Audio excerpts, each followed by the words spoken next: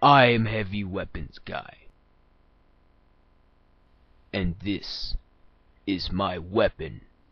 She weighs 150 kilograms and fires $200 custom tool cartridges at 10,000 rounds per minute. It costs $400,000 to fire this weapon for 12 seconds.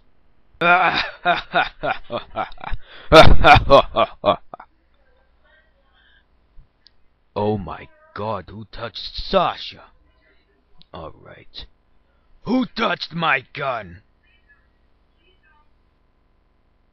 Some people think they can outsmart me. Hm. Maybe. Maybe. I've yet to meet one that can outsmart bullets.